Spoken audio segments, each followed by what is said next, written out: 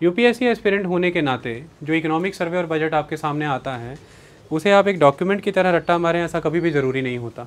वो पिछले एक साल या पिछले पाँच या दस सालों से चलती आ रही अर्थव्यवस्था की जितनी भी डिफरेंट डिफरेंट डायमेंशन हैं, उन्हीं को एक्सप्रेस करता है। क्या पास्ट में हुआ है और फ्यूचर में क्या सुधार करने वही हैं।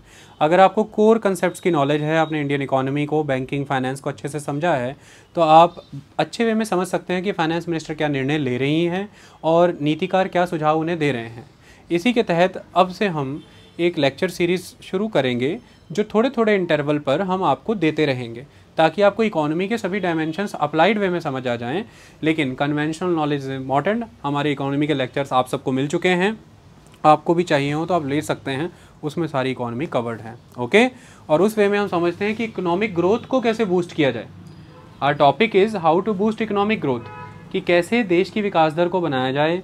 हम समझेंगे कि फिर विकास दर नीचे क्यों गिरी, बढ़ाने के क्या तरीके हैं चैलेंजेस क्या हैं सॉल्यूशंस क्या हैं। इन सारी बातों पे हम डिस्कस करेंगे। चलिए चीज़ों को समझते हैं कि ग्रोथ को कैसे बूस्ट हम कर सकते हैं इस समय में। ग्रोथ को बूस्ट करने की ज़रूरत क्यों है, ये मैंने आपके सामने डाटा लिखा है। आप डाटा को ऑब्ज़र्व करिए।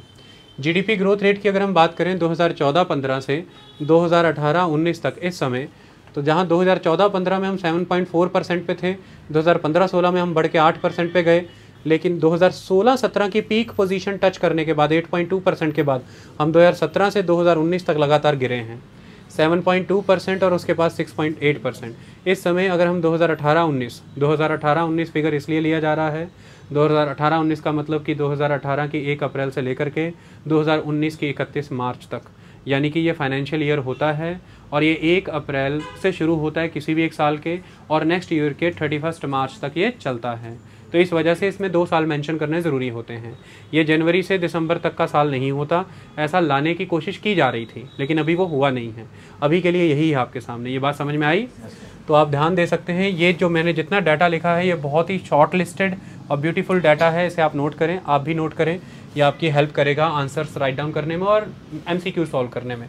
7.4 से 6.8 और अगर मैं इसको मानूँ तो ये टर्निंग ईयर है 2016-17 आप सब जानते हैं टर्निंग ईयर क्यों बना? 2016-17 2016 8 नवंबर डिमोनेटाइजेशन आप सबको पता है। समय आगे बढ़ा जीएसटी का लागू हो जाना गुड्स एंड सर्विसेज़ टैक्स तो डीमोनेटाइजेशन और जीएसटी लागू हुआ, उस पर आज चर्चा नहीं है कि वो पॉजिटिव नेगेटिव थे। मुद्दे की बात यह कि डिसीजिव ईयर था, और उसके बाद आपने लगातार एक फॉल नोटिस किया है, और ऐसे में ये नॉर्म आ जाने कि अप्रैल 2020 से भारत स्टेज सिक्स गाड़ियाँ ही बनेंगी और बिकेंगी। इसकी वजह से बड़े लेवल पर 2018 से 2019 के बीच में गाड़ियों की मांग कम हुई और गाड़ियों की सेल भी घटी। गाड़ियाँ एक बहुत बड़ा सेक्टर है मैन्युफैक्चरिंग इंडस्ट्री का, क्योंकि वो बहुत सारी सब्सिडरी इंडस्ट्रीज़ को सपोर्ट करती हैं। एक कार जब आप बनाते हैं, आपको विंडोज़ के लिए ग्लासेस चाहिए, आपको लेदर चाहिए, रैक्सिन चाहिए, आपको रबर यानी कि टायर चाहिए, आपको डिफरेंट अलॉयज़ चाहिए, इंजीनियरिंग स्किल्स चाहिए रोबोटिक टेक्नोलॉजीज़ चाहिए तो वो अलाइड इंडस्ट्रीज़ को सपोर्ट बहुत बड़े लेवल पे करती है। मतलब उसके फॉरवर्ड एंड बैकवर्ड लिंकेजेस बहुत बहुत स्ट्रॉन्ग है, क्योंकि बैकवर्ड लिंकेजेस के तौर पे, वो रॉ मटेरियल के तौर पे बड़ी मल्टीपल चीज़ों की डिमांड क्रिएट करती है। चाहे वो विंड शील्ड्स की बात करें साइड ग्लासेस की बात करें, चाहे अपहॉल्स्ट्री की बात करें, जो कपड़ा उसमें लगता है, चाहे हम बात करते हैं उसके टायर्स की, चाहे हम मेटल्स की। लेकिन फॉरवर्ड लिंकेजेस के तौर पर बड़ी स्ट्रॉन्ग है। एक स्ट्रॉन्ग एजेंसी नेटवर्क चाहिए उसे बेचने के लिए तो आपको डिफरेंट डिफरेंट एजेंसीज चाहिए उसमें मैनेजमेंट से स्किल्ड लोग चाहिए। फिर मेंटेनेंस सेक्टर बहुत स्ट्रॉन्ग है। जब गाड़ी खरीद ली जाती है तो वो गाड़ी खरीदने के बाद ही बेनिफिट देना कर, बंद करनी कर नहीं देती। उसके बाद एक लंबा साइकिल स्टार्ट होता है उसकी मेंटेनेंस का। तो मेंटेनेंस इंडस्ट्री है फिर एक बहुत बड़ा लंबा नेटवर्क है सेकेंड हैंड ऑटो सेल्स का। तो second hand auto sales industry है तो मेंटेनेंस है सेकेंड हैंड ऑटो सेल्स है। एजेंसी एंड पर सेल करना है सेल एंड परचेज डीलिंग है। तो फॉरवर्ड एंड बैकवर्ड लिंकेजेस बहुत बड़े हैं सेक्टर के। ये बड़े लेवल पे डिप किया है। और आपने ये देखा भी था, पिछले साल मैंने खबर, मैंने चैन अपने लेक्चर पुटअप किया था कि कितने बड़े स्तर पर ले किए जा रहे हैं और सभी डिफरेंट कंपनीज़ ले कर रही हैं। हमने देखा था गुड़गांव में बड़ी बड़ी कंपनियों ने अपने शोरूम्स बंद करने शुरू कर दिए। ऑटो सेल्स में गिरावट पे हमारा लेक्चर आ चुका है, जिसे हमने मल्टी डायमेंशनल वे में कवर किया था। तो ये सारी चीज़ें, ऐसी कुछ चीज़ें हुई, चाहे डिमोनेटाइजेशन था, चाहे जीएसटी था, चाहे भारत से सिक्स का नोटिफिकेशन आना था, चाहे ट्रेड वार आया चाइना और अमेरिका के बीच में, चाहे ऑयल के प्राइसेस में अनस्टेबिलिटी रही, चाहे इंटरनेशनल लेवल पर एक डिमांड स्लो डाउन देखा गया है, अंतर्राष्ट्रीय स्तर पर इस समय एक आर्थिक मंदी का दौर परसिस्ट करता है। इसमें कोई दो राय नहीं है, हम उन चीज़ों के अकॉर्डिंग ही इसे समझने की कोशिश करेंगे। अगर हम इसके बाद देखें तो आप देख सकते हैं हमारी जीडीपी लास्ट फोर क्वार्टर्स में किस तरह से गिरी है? ये बड़ी पिक्चर थी 2014 से 2019 की। और अगर हम हम इसे जूम इन करें तो हम लास्ट चार समय क्वार्टर्स की बात करते हैं। ये चार क्वार्टर कहाँ से शुरू हो रहे हैं? ये क्वार्टर थ्री है, ये क्वार्टर फोर है। क्वार्टर थ्री है, इसका मतलब ये है कि 2018 का सन हमने इस्तेमाल किया है तो इसका फ़र्स्ट क्वार्टर कौन सा होगा, जो एक अप्रैल से शुरू होकर अप्रैल, मई, जून, जो जून में ख़त्म होता है। फिर दूसरा क्वार्टर जो जुलाई से शुरू होता है, जुलाई, अगस्त, सितंबर, जो सितंबर में ख़त्म हुआ। हमने तीसरा क्वार्टर उठाया जो अक्टूबर से दिसंबर चला, अक्टूबर से दिसंबर 2018 और फिर चौथा क्वार्टर जनवरी से मार्च तक चला 2018-19 और फ़र्स्ट क्वार्टर शुरू हुआ एक अप्रैल से, फिर वही अप्रैल, मई, जून तक 2019-20 और फिर दूसरा क्वार्टर शुरू हुआ वही फिर से जुलाई, अगस्त, सितंबर। तो 2019-20 का क्वार्टर सेकंड। आई बात समझ में? तो ये क्वार्टर्स, और उसके बाद तीसरा क्वार्टर, यानी कि जून, जुलाई, अगस्त, सितंबर के बाद तीसरा, अक्टूबर, नवंबर, दिसंबर। दिसंबर में वो ख़त्म हुआ है अभी कम से कम वन मंथ लगेगा, उसका डाटा स्टैटिस्टिक्स पूरी तरह से असेस होंगे एनालिसिस होगा और उसकी फिगर्स भी आपके पास आएँगी। दो दो, दूसरे क्वार्टर तक का डाटा हमारे पास प्रॉपर अवेलेबल है और आप इसमें देख सकते हैं गिरावट कैसे आई। क्वार्टर थ्री से शुरू करते हैं तो सिक्स पॉइंट सिक्स परसेंट 2018-19 में ग्रॉस हमारी 6.8 परसेंट चल रही है, लेकिन क्वार्टर वाइज अगर हम देखें तो 6.6 से हम क्वार्टर फोर तक, यानी कि 2018 के एंड होते तक, दिसंबर तक आते सॉरी जनवरी, मार्च तक चलते चलते हम 5.8 पर आ गए, और उसके बाद हम इस साल में अगर मिड में देखें तो पाँच परसेंट पर थी। इस पर हमारा लेक्चर बहुत डिटेल में है कि इकोनॉमिक स्लो डाउन क्यों हुआ, क्या रीज़न हुए। और इस पाँच परसेंट के बाद अभी लेटेस्ट जो है, ये चार पॉइंट पाँच परसेंट, ये इसलिए चर्चा में ज़्यादा नहीं रही, क्योंकि जैसे ही इसके डाटाज आए उसी समय C A A citizenship amendment bill N P R national population register N R C इसको लेकर के सड़कों पर प्रोटेस्ट सरकार के आगे से जो रिटेलिएशन हुआ, उसके बाद अब कल से जे एन यू का मुद्दा आप सबको पता है, शुरू हुआ। ये सब चीज़ें चल रही हैं, इसकी वजह से ये चीज़ें चर्चा में नहीं आ पा रही। ये न्यूज़ चैनल से कहीं ना कहीं वैनिश हैं। लेकिन ये आपके लिए मुद्दे बनते हैं, मैं आपको क्लियर कर दूँ। आई बात समझ में? ये हो गई दो जीडीपी फिगर्स जीडीपी का मतलब यहाँ पे ग्रॉस डोमेस्टिक प्रोडक्ट मैं आपको समझा दूँगा कि ये फिगर्स हम क्यों लेते हैं। आगे है एग्रीकल्चर ग्रोथ रेट यूपीएससी में ये फिगर वाइज पूछ लिया जाता है। अगर हम इसका सेमेस्टर टू सेमेस्टर एनालिसिस करें, आपके सामने क्लियर सेमेस्टर अवेलेबल है।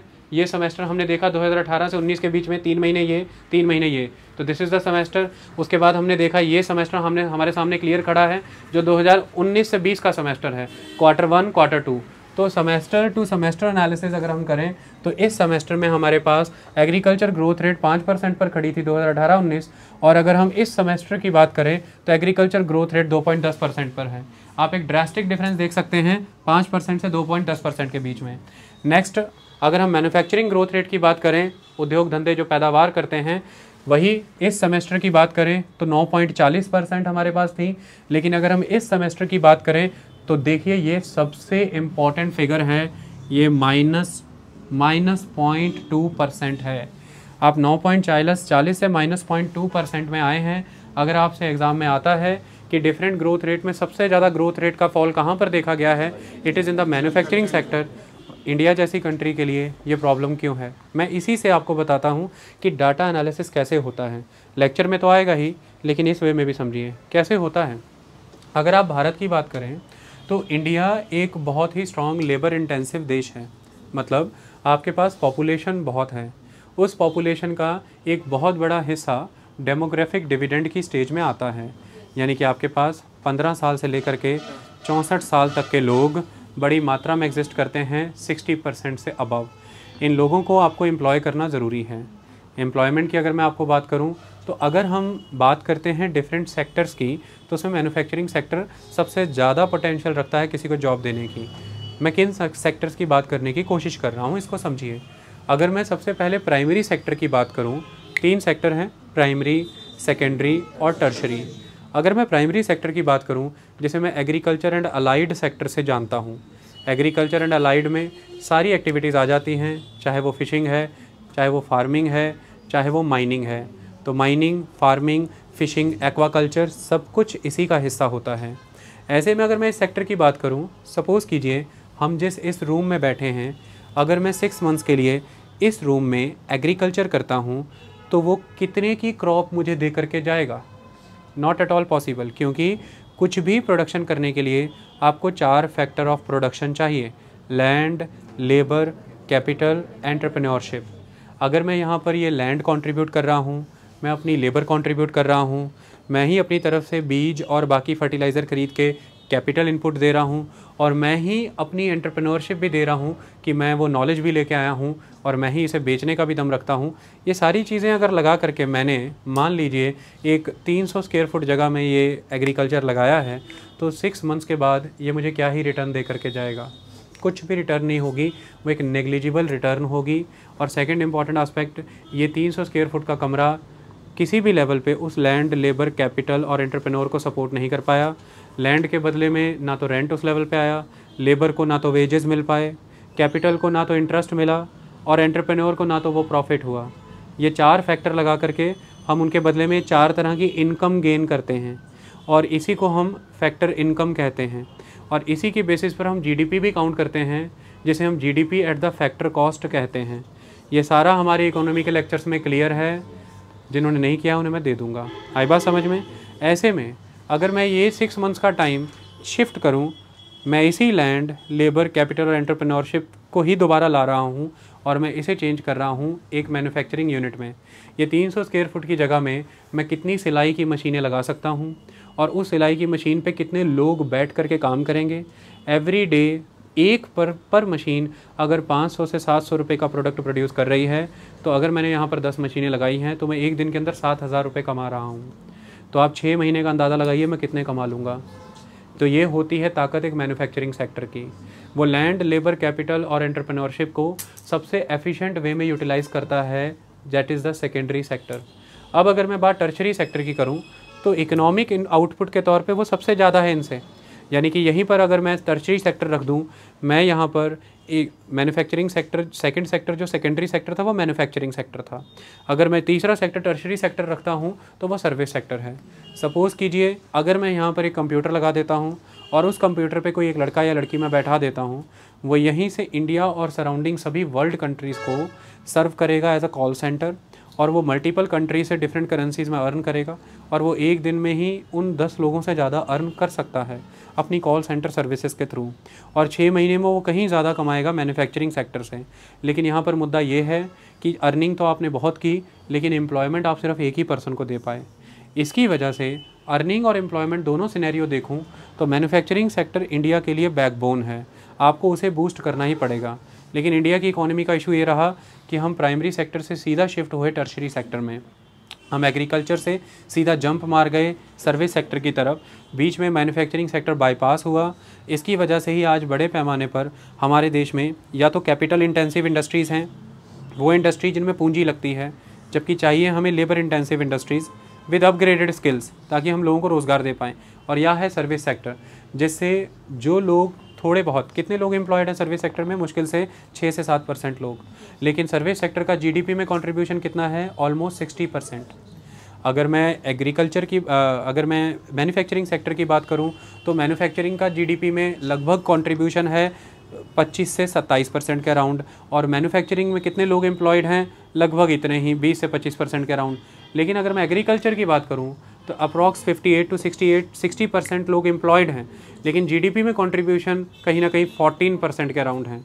मतलब एक तरफ़ 6 परसेंट लोगों को अब जीडीपी का 60 परसेंट दे रहे हैं in the service sector 6 percent लोग काम कर रहे हैं 60 परसेंट बेनिफिट है। और एक तरफ़ 60 परसेंट लोग एग्रीकल्चर में लगे हुए हैं, लेकिन जीडीपी का कंट्रीब्यूशन उनको कितना मिल रहा है? तेरह से चौदह परसेंट। ये जो मिसमैनेज है, इसकी वजह से कंसनट्रेशन ऑफ़ वेल्थ होती है और इसी की वजह से आप ये देख पा रहे हैं कि आज डिमांड गिर चुकी है पूरे देश में और इस समय हम सफ़र कर रहे हैं demand side economic slow down से। तो कुल मिलाकर के ये मैन्युफैक्चरिंग ग्रोथ रेट जो 9.40 से माइनस पॉइंट आई है, ये किसी और देश की बात होती तो अलग बात थी लेकिन इंडिया के मामले में सबसे ज़्यादा नुकसानदायक बात है, क्योंकि हमें मैन्युफैक्चरिंग लेड ग्रोथ ही चाहिए ऑलवेज़ ये बात आप याद रखिएगा। और क्योंकि ये सेक्टर लेबर को एम्प्लॉयमेंट दे सकता है, और हमारी कंट्री डिमांड बेस्ड कंट्री के तौर पर चलती है, अगर डिमांड क्रिएट होगी तो ही मैन्युफैक्चरिंग फर्दर सपोर्ट होगी। डिमांड तभी क्रिएट होगी जब लोगों के हाथ में जॉब आएगी। जॉब आएगी तो एम्प्लॉयमेंट आएगी तो परचेजिंग पावर आएगी। परचेजिंग पावर आएगी तो इनकम आएगी इनकम से इन्वेस्टमेंट आएगी। और इनकम लेड ग्रोथ होगी। और वही इनकम लेड ग्रोथ फर्दर फिर मैन्युफैक्चरिंग को सर्वाइव करेगी। लेकिन यहाँ पे फिगर सबसे ज़्यादा गिरी हुई है। उसके बाद electricity gas and water supply growth rate को अगर हम देखें तो इस पर्टिकुलर सेमेस्टर में, यानी कि 2018 के 19 तक, ये 7.70 परसेंट रही। लेकिन इस पर्टिकुलर सेमेस्टर के दौरान ये 2019-20 से 6.10 परसेंट। ये सीधा आंकड़ा है जो आपको ये बताता है कि इन इलेक्ट्रिसिटी ने गैस ने और पानी ने कितनी आपूर्ति की? यानी कि इन्होंने कितनी मांग को सेटिस्फाई किया? कितनी डिमांड को सेटिस्फाई किया? क्योंकि इनकी सप्लाई में गिरावट आई है, इसका मतलब यह है कि डिमांड में गिरावट थी। इसी की वजह से ये सात पॉइंट सत्तर परसेंट से कम होकर के छः पॉइंट दस परसेंट पर आए हैं। अगर इनमें बढ़ोतरी हुई होती मतलब लोगों ने इन्हें मजबूर किया पैदावार बढ़ाने के लिए, तभी तो इन्होंने फिर आपूर्ति भी उतनी की। लेकिन वो तब करते लोग जब वो डिमांड करते। इलेक्ट्रिसिटी तब कंज्यूम होता अगर फैक्ट्रीज़ रन होती। जब फैक्ट्रीज़ में मैन्युफैक्चरिंग ही माइनस में जा रही है तो फिर वो इलेक्ट्रिसिटी की मांग पैदा कहाँ से करेंगे?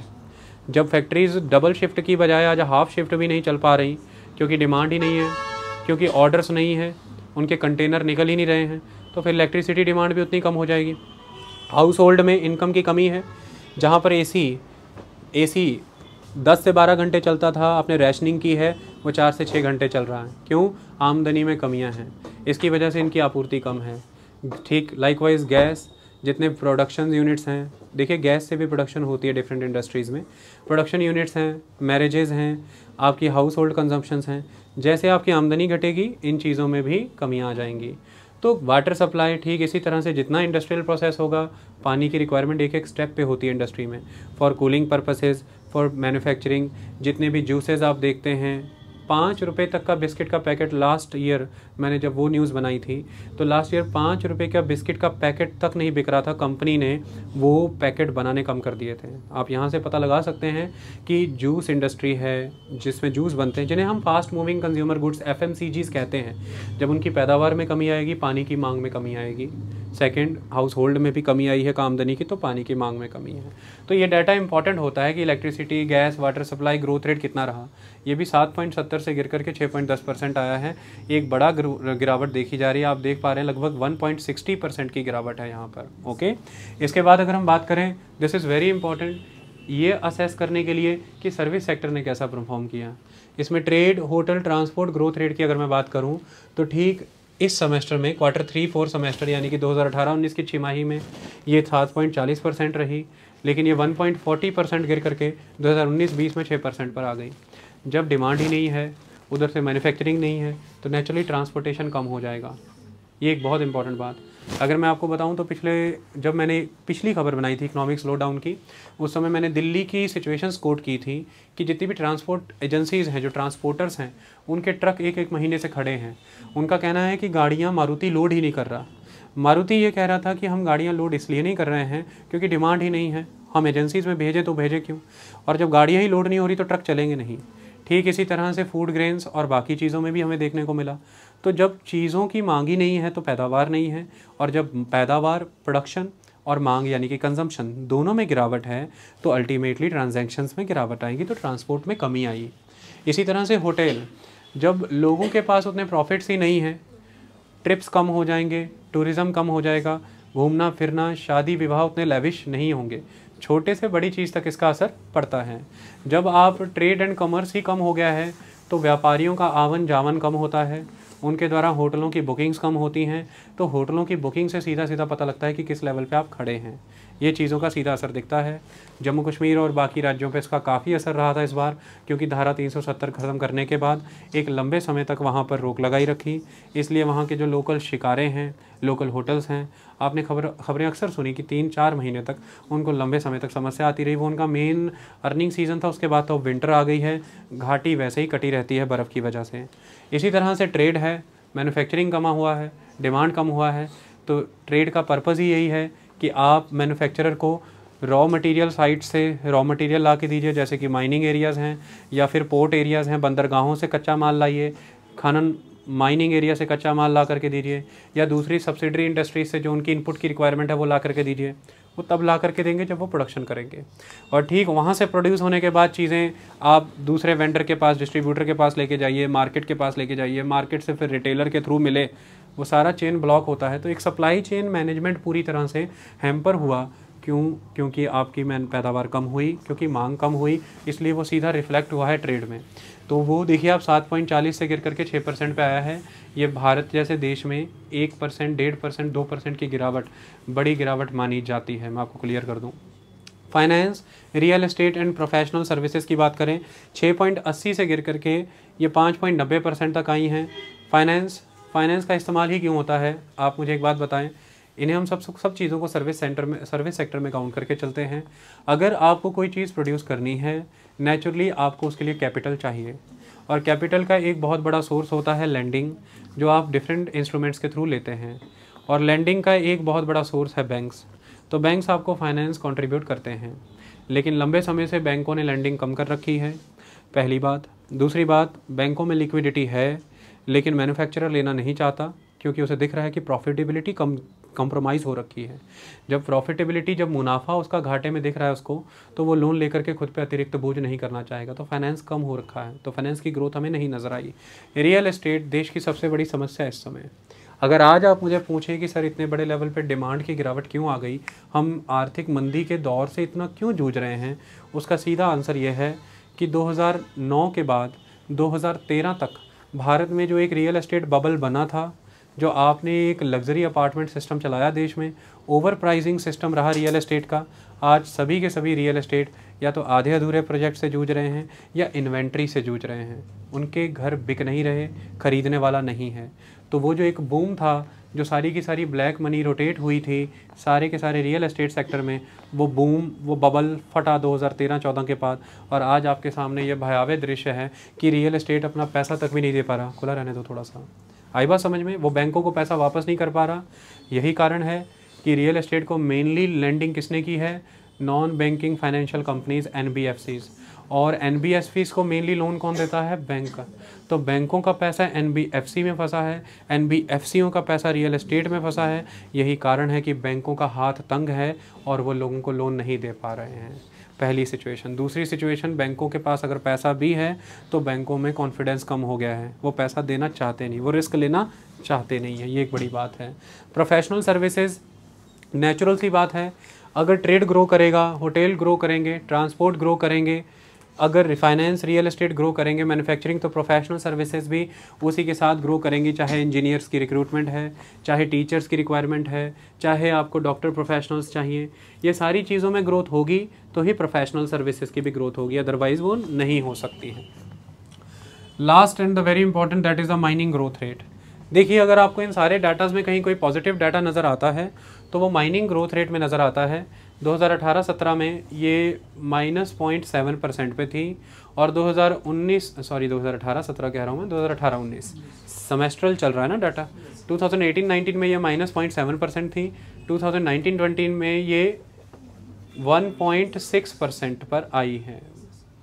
1.6 परसेंट पर आई है।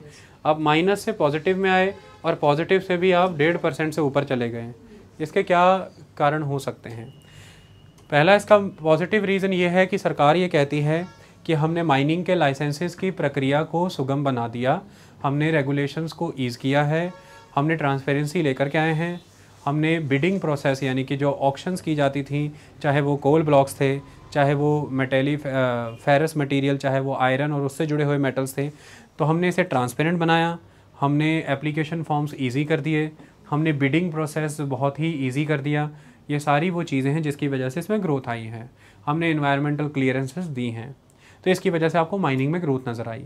लेकिन इसका एक दूसरा चेहरा भी है, वो ये है कि आपकी माइनिंग में ग्रोथ आ रही है, जो कि माइनस से आ गई पॉजिटिव में साइमल्टेनियसली आपके मैन्युफैक्चरिंग में गिरावट आई है, जो नाइन पॉइंट से माइनस में नाइन पॉइंट फोर्टी से माइनस पॉइंट टू पे आई है।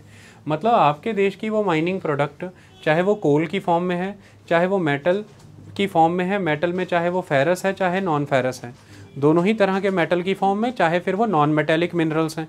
तो मेटेलिक नॉन मेटेलिक मिनरल्स उसमें फेरस नॉन फेरस मिनरल्स सारे के सारे कहीं ना कहीं कंज्यूम होते हैं मैन्युफैक्चरिंग में।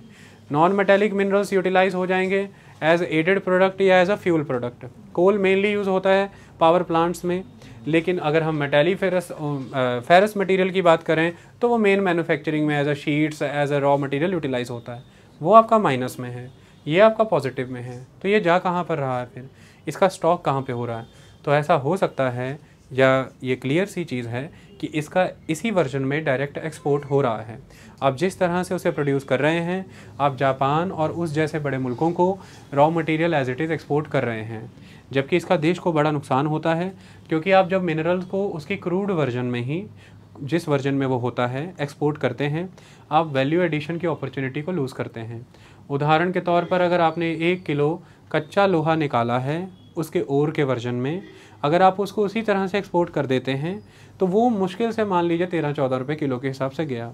लेकिन अगर आप उसे रिफ़ाइन करते हैं उसे स्मेल्टिंग के प्रोसेस के थ्रू ले जा करके उसे आयरन बार्स बनाते हैं। एक तो उस लेवल पर आपने कितनी बड़ी प्रोडक्शन एक्टिविटी की, वहाँ पर लोगों को लेबर मिलेगी और वो प्लांट कितनी सारी इनपुट्स की डिमांड भी क्रिएट करेगा। उसे बिजली चाहिए, पानी चाहिए मशीन्स चाहिए, इससे देश में इकोनॉमी का तंत्र चलता है और ये मल्टीप्लायर इफ़ेक्ट का काम करता है। दूसरा, जब वही आयरन बार्स यहाँ जलंधर की हैंड टूल इंडस्ट्री में आएगा उससे चाबियाँ पाने यानी कि स्पैनर्स बनेंगे। और वो स्पैनर्स जब बनेंगे तो एक एक प्लायर यानी कि एक एक प्लास 200, 250, 300, 400 रुपए का बिकेगा। और एक किलो से आप कितनी चीज़ें बनाएँगे तो उस एक किलो की कीमत कहाँ तक चली गई? 500, 600, 700 रुपए तक।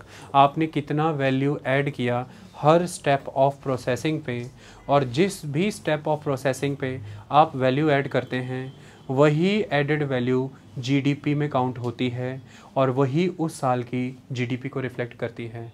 एक साल में एक देश के अंदर, एक साल में एक देश के अंदर, यानी कि in one year in the domestic territory of the country जो भी गुड्स एंड सर्विसेज़ आप प्रोड्यूस करते हैं, उनकी जो फाइनल वैल्यू होती है उसी का एडिशन जीडीपी कहलाता है ग्रॉस डोमेस्टिक प्रोडक्ट इसको उदाहरण के तौर पे ऐसा समझिए, आप किसी के विकास को कैसे पता लगाते हैं? मान लीजिए, आपका दोस्त है, आपने अपने दोस्त को देखा, तीन साल पहले उनके घर में सिंपली फ्लोर पे कच्चा सीमेंट प्लस्तर हो रखा था।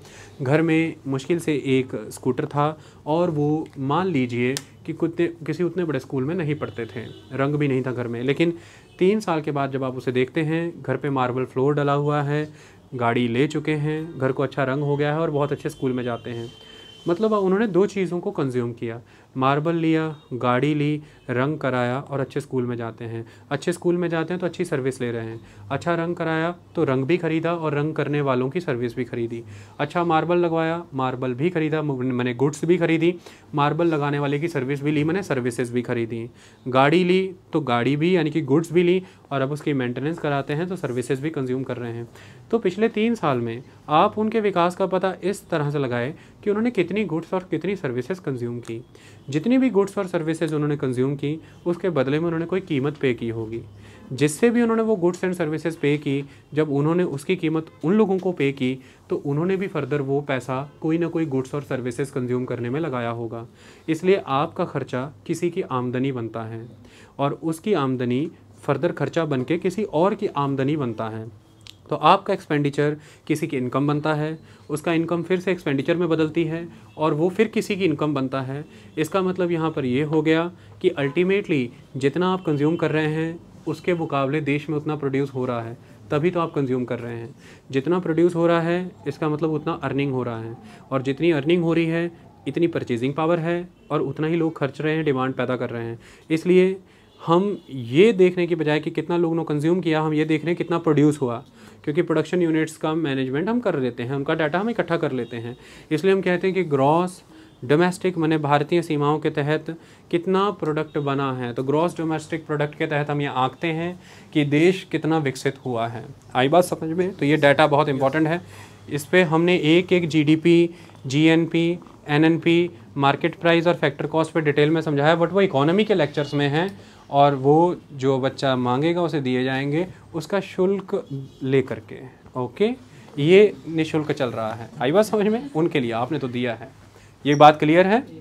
ये डाटाज रखे, हमने बेसिक समझाए। अब हम चीज़ों के हिसाब से चलते हैं। डाटा को मैं डिलीट कर देता हूँ, इसमें कोई दिक्कत की बात नहीं, क्योंकि डाटा एनालिसिस कर दिया हमने। अब आपको पिक्चर समझनी है तो अब हम इसको डिलीट कर दें, क्योंकि एक भी मिनट आपका वेस्ट ना हो, हम वीडियो स्टॉप कर रहे हैं इसे डिलीट करने के लिए। समझते हैं सरकार के पास क्या हल हैं, और देश को किस दिशा में बढ़ना चाहिए। देखिए, एक सबसे इंपॉर्टेंट चीज़ है, जब भी आपने इकोनॉमी को देखना है, उसमें दो चीज़ें बहुत इंपॉर्टेंट हैं demand and supply demand and supply क्या मतलब है इस बात का? सपोज़ कीजिए कि आप कंज्यूमर हैं। तो एक तरफ़ के पे कंज्यूमर है या आप इसे बायर कह देते हैं। और दूसरी तरफ़ कौन है? मैन्युफैक्चरर है। मैन्युफैक्चरर है, कोई भी हो सकता है यहाँ पे, आप इसे सप्लायर कह देते हैं। जब ये किसी चीज़ को कंज्यूम करेगा तो ही अल्टीमेटली कोई चीज़ प्रोड्यूस होगी। आई बात समझ में? तो जब ये कंज्यूम करता है, ये कैपेबल है उस चीज़ की कीमत पे करने के लिए। और अल्टीमेटली ये वांट क्रिएट कर रहा है, ये विल क्रिएट कर, इसके पास डिज़ायर है, इसके पास वांट है विल है, सब कुछ है, और फाइनली ये डिमांड में कन्वर्ट होती है।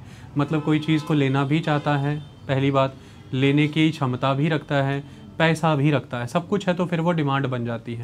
इसी तरह से ये लोग सप्लाई करने का भी दम रखते हैं, सामग्री भी है प्रोड्यूस करने की टेक्नोलॉजी भी है, और एक वैलिड प्राइसिंग भी मिल रही है, जिस कीमत पे वो पैदा करें।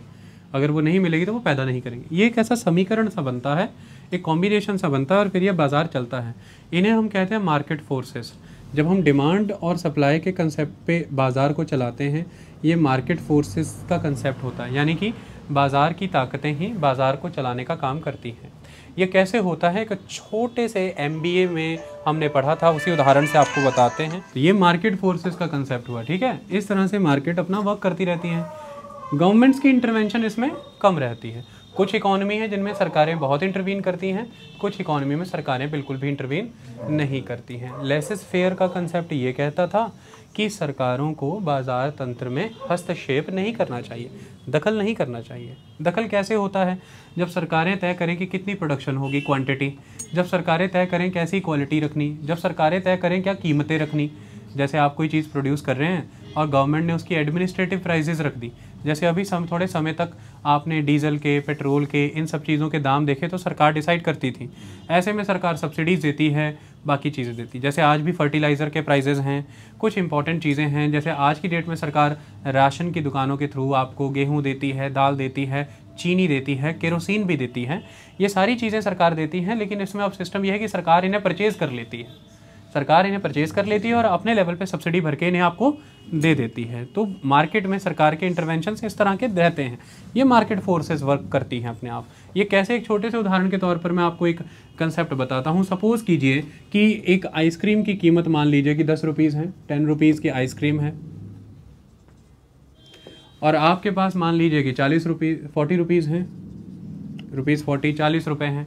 तो नेचुरली आप कितनी आइसक्रीम की डिमांड क्रिएट कर रहे हैं? फोर तो फोर आइसक्रीम की डिमांड आपने क्रिएट कर दी, एक आइसक्रीम दस रुपये की है।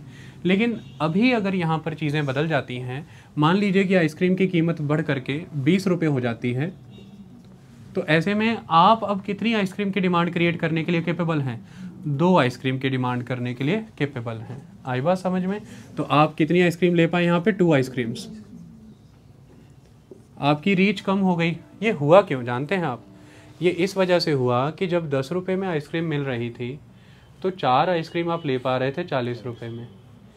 आइसक्रीम की कीमत बिल्कुल जेनवन थी यहाँ पर। तो बायर बहुत सारे खड़े हो गए। मल्टीपल बायर खड़े हो गए। अब जब यहाँ पर आप एक बायर के तौर पर खड़े हैं, यहाँ पर कितने और बायर हो गए तो टोटल बायर यहाँ पर सपोज़ कीजिए कि टेन हो गए। जैसे ही टेन बायर हो गए, अब उसके कंपेरेटिव उसके कंपेरेटिवली आइसक्रीम सप्लाई जो है वो कहीं ना कहीं रिस्ट्रिक्टेड है, कम है। ऐसे में आइसक्रीम सेलर को ये ऑप्शन मिल जा रहा है कि जहाँ पर चीज़ें कम हैं, मांग करता ज़्यादा हैं तो वो अपने मुताबिक अब उसको ही देगा जो उस चीज़ की बेहतर कीमत लगा रहा है। ये तरीका होता है कीमत बढ़ने का। यानी कि जब किसी की चीज़ की डिमांड बढ़ जाती है, उसकी कंपैरेटिवली उसकी सप्लाई शॉर्टफॉल होने लग जाती है तो उसके प्राइजेज एस्केलेट करते हैं और यहीं से आती है इन्फ्लेशन ध्यान, यहाँ पर हमने कंस्ट्रेंट कहाँ देखा? सप्लाई साइड पे। यहाँ पे हमने कंस्ट्रेंट कहाँ देखा? सप्लाई साइड पे। सप्लाई डाउन है ना? तो डाउन सप्लाई ने किस चीज़ को एस्केलेट कर दिया? कॉस्ट को। और कॉस्ट ने किस चीज़ को बढ़ाया? मतलब ये महँगाई बढ़ गई ना? इन्फ्लेशन बढ़ाना। ये हमने इस डिकेड की बिगिनिंग में देखा था 2010 में। तो इस दशक की शुरुआत सप्लाई कंस्ट्रेंट से शुरू हुई थी आपको समझना ज़रूरी है। अगर आप बीइंग यूपीएससी एस्पिरेंट और बीइंग पॉलिसी मेकर अगर इकोनॉमिक सर्वे पढ़ रहे हैं और देश की नीतियों को समझना चाहते हैं, अर्थव्यवस्था का कोई हल सही मायने में देना चाहते हैं तो आपको इस बात को समझना ज़रूरी है कि आप इकोनॉमी को एक क्वार्टर या दो क्वार्टर या एक साल में नहीं एक क्वार्टर समझने के लिए एक डिकेड समझना ज़रूरी है। एक डिकेड के लिए लगभग हाफ़ सेंचुरी भी समझनी ज़रूरी है। आई बात समझ में? तो डिकेड की जब बिगनिंग हुई ना 2010 तो मैं अब आपको याद कराता हूँ। 2010, 11, 12, 13, 14 कांग्रेस के ये जो समय रहा था उस समय यूपीए सरकार का कांग्रेस इस चीज़ से जूझ रही थी कि महँगाई दर कम कैसे की जाए। ये आपने नोटिस किया होगा बार बार आरबीआई अपनी पॉलिसी मेजर्स लेकर के आ रहा था और रेपो रेट बढ़ाए जा रहे थे। सीआरआर बढ़ाया जा रहा था ताकि बाज़ार में किसी तरह से संतुलन आ सके, लोग मांग कम करें लिक्विडिटी थोड़ी सी कम हो, तरलता कम हो, ताकि महँगाई दर गिरे। आई बात समझ में? ये एक इंपॉर्टेंट तो सप्लाई कंस्ट्रेंट हमने देखा। लेकिन इस समय हम जब डिकेड के एंड पे खड़े हैं, ये सिचुएशन बदल चुकी है। इस समय ये पूरा का पूरा कंस्ट्रेंट डिमांड साइड पे आया है। इस समय जो हम जूझ रहे हैं, वो डिमांड साइड से जूझ रहे हैं। आई बात समझ में? क्योंकि अब हुआ ये सपोज़ कीजिए कि उस पर्सन ने ये देखा कि मेरी आइसक्रीम अब महँगी बिकने लगी है, दस की बजाय बीस की हो गई है। तो अब उसने अपने मुनाफे बढ़ाने के लिए उतनी ही प्रोडक्शन बूस्ट कर दी। तो अब वो बीस रुपये के हिसाब से बनाने लगा। लेकिन ऐसे में डिमांड सप्लाई का कंसेप्ट इतना ब्यूटीफुल है कि ये लोग डिसार्टेड होने शुरू हुए। क्योंकि जब महँगाई बढ़ेगी तो पैसे की कीमत गिरती है। और जब पैसे की कीमत, पैसे की कीमत मतलब पहले वही दस रुपये में एक आइसक्रीम आ रही थी। अब बीस रुपया लगा करके एक आइसक्रीम आ रही है। मतलब दस रुपये में वो आधी आइसक्रीम आ रही है। तो पैसे की कीमत गिर गई ना? मनी डेप्रिशिएट हो गई ना भाई? अप्रिशिएट थोड़ी ना हुई। ये डिवेल्युएशन नहीं है, ये डेप्रिसिएशन है। समझो इसको, हैं? ये गिरावट आई। मुद्रा के स्तर में गिरावट आ गई।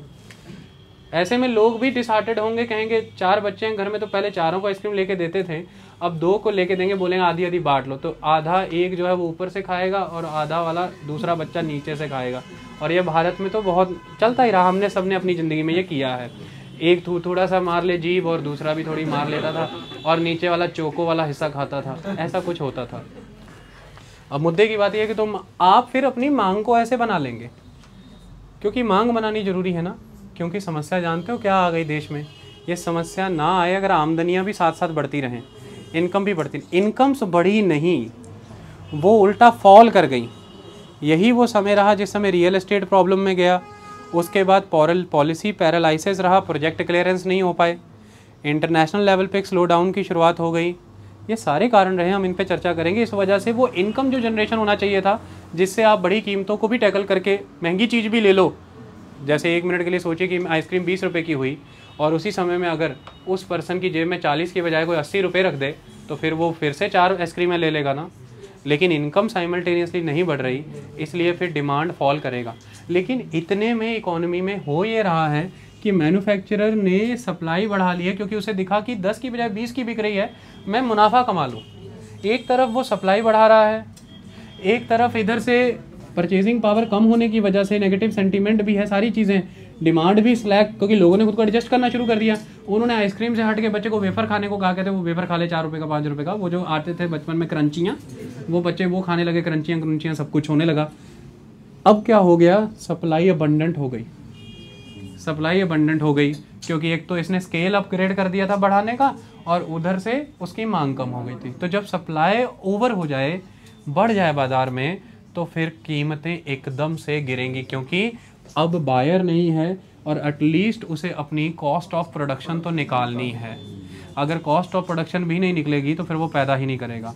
ऐसे में अब जो उसके पास इन्वेंट्री हो गई है, जो बढ़ गया एक बार तो फिर सेल आएगी प्राइस कट आएँगे डिस्काउंट्स आएँगे आते आते वो कॉस्ट ऑफ़ प्रोडक्शन पे आएगा। लेकिन हम डिकेड एंड होने तक 2017 ऑनवर्ड इतने strong lack of supply lack of demand cycle में चले गए हैं कि इस लेवल तक भी अब डिमांड रिवाइव नहीं हो रही कि कॉस्ट प्राइस पे भी अगर प्लेयर खेलना चाह रहा है, अगर वो अपनी लागत कीमत पे भी चीज़ देना जा रहा है तो भी बायर अट्रैक्ट नहीं हो रहा है, चीज़ें नहीं ले पा रहा है।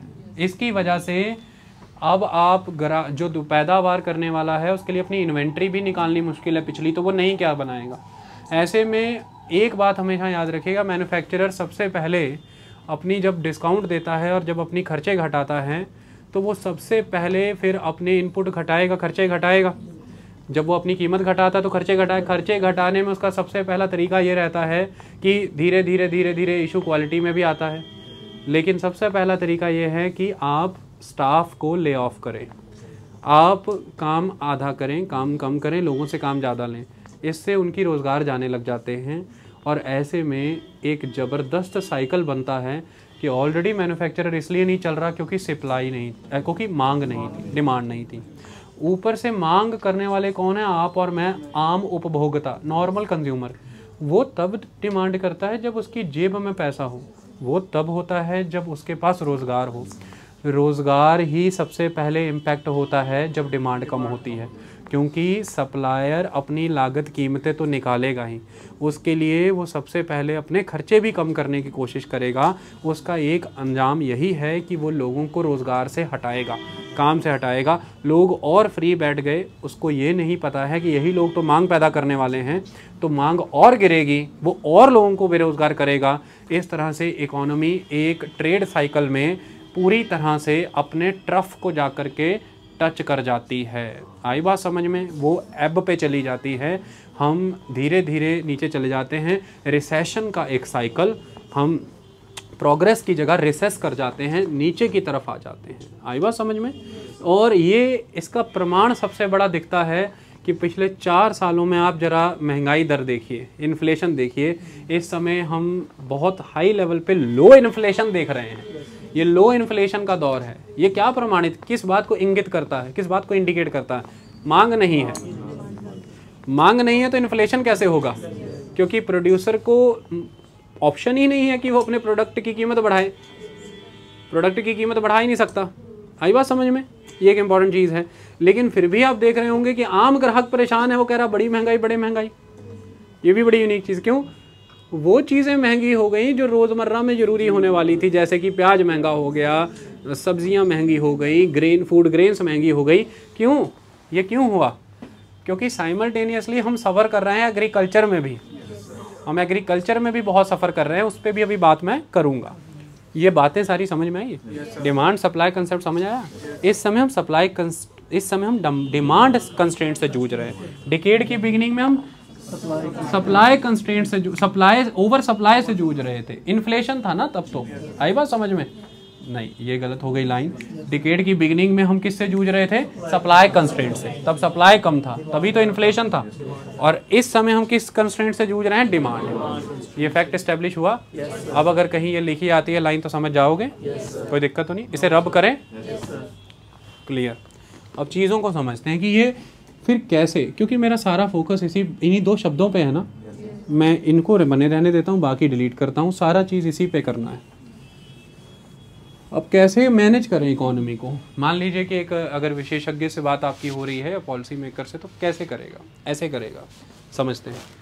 वो ये कहेगा कि इस समय हमारा उद्देश्य दो पहलुओं पर है। सबसे पहला पहलू ये है कि डिमांड को सेटल करें, और दूसरा पहलू है कि सप्लाई भी सेटल हो। सप्लाई यहाँ पर कैसे सेटल होगी कि जो मैन्युफैक्चरर है, जो इन्वेस्टर है, जिसमें primary sector secondary sector tertiary sector तीनों हैं, असल में सप्लाई तो इनको करना है ना? और जब ये सप्लाई करेंगे, तभी जा कर के एक लेवल पे ग्रोथ होनी शुरू होगी। ये सप्लाई करें, इसके लिए इनको समर्थन दो। इन दो तरीके हैं ना हमारे पास। एक तो ये है कि आप मुझे किसी तरह से सपोर्ट करें और मैं लेक्चर देने शुरू कर दूँ। मतलब मेरी सपोर्ट कर दें। सपोर्ट क्या है कि मैं बिजली का बिल नहीं भर पा रहा था। मैं इस दफ्तर का किराया नहीं भर पा रहा था। मैं इक्विपमेंट नहीं खरीद पा रहा था कि लेक्चर रिकॉर्ड हो पाए। अगर कहीं कोई बाहरी ताकत आकर के मुझे मेरे बिजली बिल भरने में मदद कर दे, ये किराया भरने में मदद कर दे और इक्विपमेंट में थोड़ा सा मदद कर दे खरीदने में तो मैं फिर खड़ा हो जाऊँगा और फिर मेरे लेक्चर उस दिन से आने लगेंगे तो सप्लाई बहाल होगी। ये सप्लाई मैं बहाल करूँगा। आई बात समझ में? इस पर अभी डिस्कशन करेंगे। और दूसरा तरीका, दूसरा कारण, मैं सप्लाई बहाल करूँ तो कोई उस लेक्चर को लेने वाला भी होना चाहिए। तो सरकार उनको भी समर्थन करे कि वो इतना अपनी जेब में बचा पा रहे हैं पैसा कि वो उस पैसे से मेरी फ़ीस भर के लेक्चर लेने लायक हो जाए। तो सरकार को इस समय सप्लाई भी देखना है और डिमांड भी देखना है। समझ आ रही बात? इनको देखने के लिए सरकार क्या कदम उठा रही है? अब हमें वो देखना है। दोनों के एंड पे देखते हैं कैसे हो रहा है। चलिए सबसे पहले मैं आपको बताता हूँ कि सरकार ने पिछले लंबे समय में क्या क्या कदम उठाए हैं जिसकी वजह से सरकार ने दोनों को साइमल्टेनियसली टारगेट करना चाहा और मैंने पीछे लेक्चर्स में आपको वो बताया। बार बार बार बार जब मैं शब्द यूज़ कर रहा हूँ, मैं सरकार सरकार शब्द यूज़ कर रहा हूँ। क्यों कर रहा हूँ? देखिए, एक चीज़ आपको माननी पड़ेगी, इंडिया हमेशा से ही एक लो इनकम इकोनॉमी रही है। आई बात समझ में? एक लो इनकम इकोनॉमी का मतलब यहाँ पर यह होता है कि इंडिया शुरू से ही इनकम के दम पर डिमांड अपने लेवल पे क्रिएट नहीं कर पाई जब जब उसे एक्सटर्नल सपोर्ट नहीं मिल पाया है। एक्सटर्नल सपोर्ट नहीं मिल पाया। मतलब ये होता है, लो इनकम इकोनॉमी का मतलब यहाँ पर ये है कि एक तो मास लेवल पर, मास लेवल पे, मास लेवल पे लोगों के हाथ में इनकम नहीं है ज़्यादा। इनकम थोड़ी